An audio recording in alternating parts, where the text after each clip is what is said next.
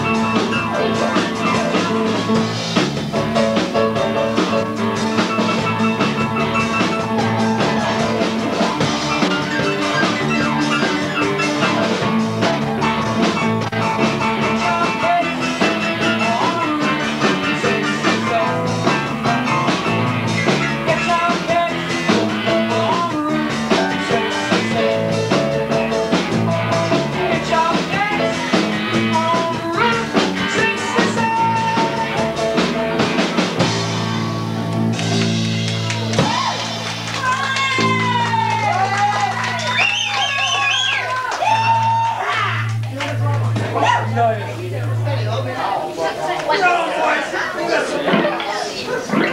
he in pit? No, he in pit.